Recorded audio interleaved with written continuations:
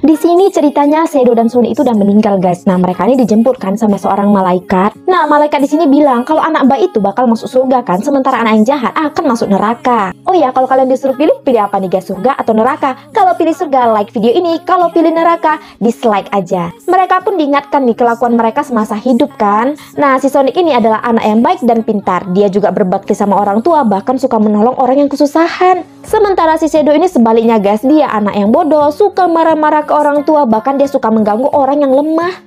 Setelah melihat kelakuan mereka di masa lalu, nasi Shadow ini kelihatan senang tuh guys. Berbeda banget dengan si Sonic, dia kelihatan sedih karena kangen banget sama ayahnya. Diam-diam Shadow ini pun masukkan ke pintu surga, tapi dia dihalangi nih guys sama malaikat karena yang seharusnya masuk surga itu adalah si Sonic karena dia anak yang baik. Dan ya akhirnya Shadow pun masuk tugas ke neraka sementara si Sonic adalah penghuni surga. Ya semoga aja kita kelak adalah penghuni surga seperti Sonic ya. Yuk komen amin di kolom komentar.